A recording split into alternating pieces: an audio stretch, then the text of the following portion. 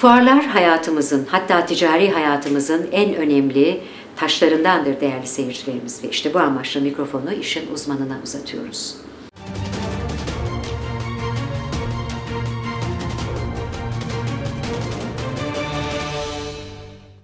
Merhaba sevgili Sektörel Haber Merkezi izleyicileri. Sektörler arası yolculuğumuz tüm hızıyla devam ediyor. Bugün sizlere TÜYAP Fuar Merkezi'nden sesleniyoruz ve VM Zinc firmasına konuk olduk.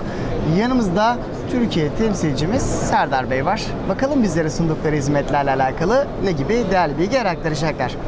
Serdar Bey merhabalar. Merhaba, hoş geldiniz. Hoş bulduk. Nasılsınız? İyisiniz? Teşekkür ederim sizler. Teşekkürler, sağ olun. Bizler deyiz efendim. Ben öncelikle kısaca böyle bir Serdar Bey'den eee, bahsetmek istiyorum. Kimdir efendim Serdar Bey? Bu sektörle tanışmanız. Ee, VM Zinc'te yaklaşık 8 yıldır çalışıyorum. Evet. Daha önceki hayatımda inşaat sektöründe çalışmadım. Ama her zaman bir uluslararası e, ihracat veya ithalat alanında e, tecrübelerim oldu. Evet, 8 yıldır VM Zinc'le 8 beraberiz. yıldır VM Zinc'in Türkiye'deki yöneticisiyim. Evet, peki biraz tanıyalım mı VM Zinc'i? Kaç yılında Tabii. kurduk? Geçmişi nedir ve burada neler yapıyoruz? VM Zinc yaklaşık 180 yıllık bir firma. Ee, 1800 yılların başında e, temellerini Paris'te atıyor.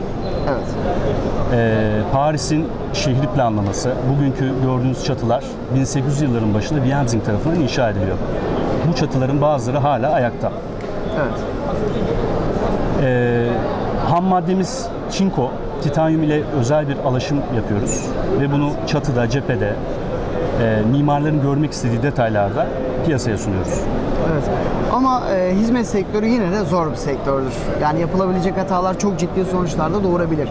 Peki siz VM Zinc olarak hizmet verirken burada nelere dikkat ediyorsunuz? Yani olmazsa olmazlarınız vardır. Evet. 1800'lü yıllardan beri buralardasınız çünkü. Elbette.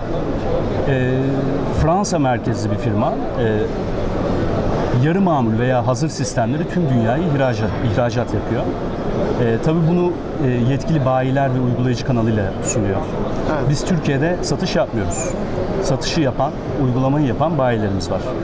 Bizim buradaki var olma sebebimiz aslında mimarın istediği teknik, estetik mükemmelliği sağlayabilmek. Bunun için neler yapıyoruz? Evet. Ee, teknik arkadaşlarımızla şantiyede destek, atölyede eğitimler, tasarım destek gibi faaliyetlerimiz var.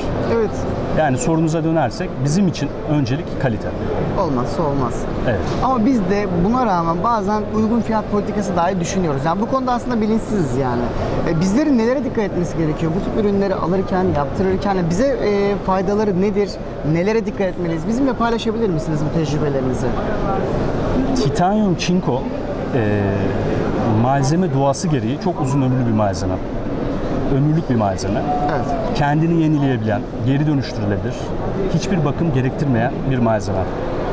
Ee, tabii yatırım maliyetleri ilk başta birim fiyat üzerinden konuşulur. Ancak 20 seneden itibaren bir e, projeksiyon yaptığımızda aslında malzemenin pahalı değil, uzun dönemine, e, uzun e, ömrüne e, göre optimum maliyetli olduğunu görürüz.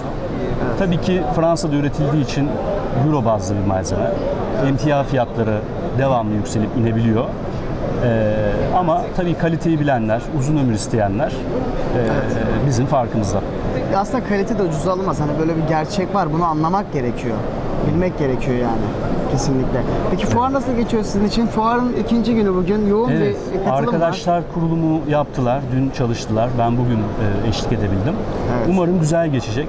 E, sektördeki bütün karar vericileri standımıza davet ediyoruz. Umarım güzel bir fuar geçiririz. Evet. Peki sektörün sıkıntıları neler? İrili ufakta bazı sıkıntılar var. Ee, sizce bu sıkıntıların aşılması için neler yapılmalı? Görüşlerinizi alabilir miyiz? Tabii e, genel olarak her şey standartlara bağlı. Maalesef inşaat sektöründe e, bir iyileştirme yapılması gerekiyor fikrimizce. E,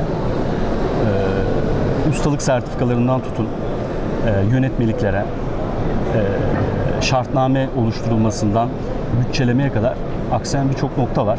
Evet. Tabii ki inşaat maliyetli bir şey. Sonuçta konjonktürel bir e, e, zamana da e, bağlıyız. Evet. E, ülke ekonomisi iyi gittiği sürece inşaatın azalmayacağını düşünüyorum. Evet. Peki siz VM Zinc olarak hedeflerinize ulaşabildiniz mi? İstediğiniz noktada mısınız? Ya da bundan sonraki hedef ve projelerinizde neler olacak Serdar Bey? Yaklaşık 8 yıldır hemen hemen koyduğumuz bütün hedeflere ulaştık. Bu sene koyduğumuz hedef biraz iddialıydı. Henüz yıl bitmemesine rağmen tabii önümüzde seçimler var. Evet. E, yatırım kararları askıya alınmış durumda bazı projelerde. Umarım hedeflerimize ulaşırız. Tabii hedef hiç bitmiyor. Hedefler yüksek. Yani ne insan hayatında bitiyor ne de sektör bazlı gelişen bir teknoloji var. Evet, Hiçbir zaman trendleri yakalamanız gerekiyor. mutlaka. ARGE çalışmaları yapmanız gerekiyor. Bu arada projeler hayata geçirip para kazanmanız gerekiyor. Evet. Hep birbirine bağlı bir puzzle gibi büyük yani. bir çark aslında evet. Biz de o çarkın küçük parçalarıyız aslında. Biz bu hedefleriniz yolunda başarılar dileyelim efendim. Teşekkürler. Biz herkesi buraya davet edelim. VM Zinc'e. En azından bir çay içmeye, bir kahve içmeye, bir standa davet edelim. efendim. Evet. Bunları da buradan ekran başındaki izleyicilerimize hatırlatalım. Ben vermiş olduğunuz değerli bilgilerden dolayı çok teşekkür ediyorum Serdar Bey. Ben Başarılarınızın devamını Çok diliyorum. teşekkürler. Çok sağ olun. Saygılar. Sağ olun.